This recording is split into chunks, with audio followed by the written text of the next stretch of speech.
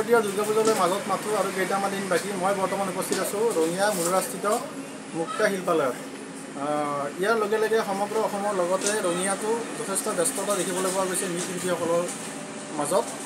মই পোনে পোনে মোৰ সতীৰ্থক দেখিবলৈ অনুৰোধ জনাম কিছু দৃশ্য।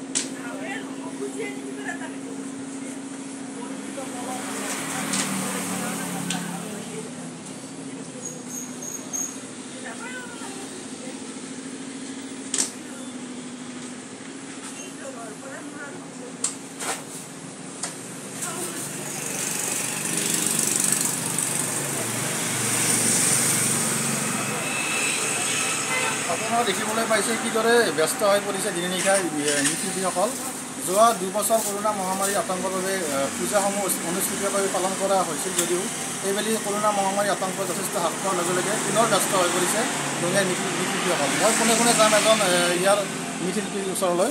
তেওঁৰ পৰা কিছু কথা জানিব চেষ্টা কৰিম। দাদা এই মূৰ্তি মানে কেতিয়াৰ পৰা আপোনালোক বনোৱা আৰম্ভ কৰিছে? আমাৰ মূৰ্তি আমাৰ মোটামুটি এক মাহমান হ'ল। আমি আৰম্ভণি কৰি আছোঁ। আমাৰ হাতত এতিয়া সময় বেছি নাই। বেছি মাত্ৰ আঠটা দিন আছে। এই আঠটা দিন আমাৰ কাম বেছি হৈছে। সেইকাৰণে আ- কামত আগবাঢ়িব পৰা নাই। গতিকে কামত আমাৰ মানে ৰেষ্ট নাই। কিমানজন আছে আপোনালোক? কৰ্মচাৰী কিমানজন আছে? কৰ্মচাৰী আমাৰ সাতজন আছে সাতজন সাতজন। এইবাৰ মানে কিমান মূৰ্তি বনাইছে আপোনালোকে? মূৰ্তি আপোনাৰ আঠখন বনাইছোঁ। হয়।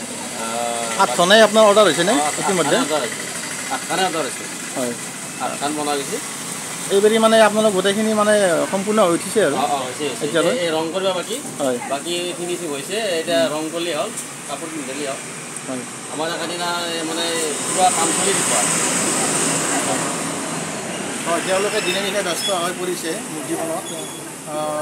গতিকে এইবেলি পূজা যথেষ্ট জমক জমকতাৰে পালন কৰা হ'ব সমগ্ৰ অসমৰ লগতে ৰঙিয়াতো আহ, মই হেমেন কলিতা ৰঙিয়াৰ পৰা খবৰ লাগিব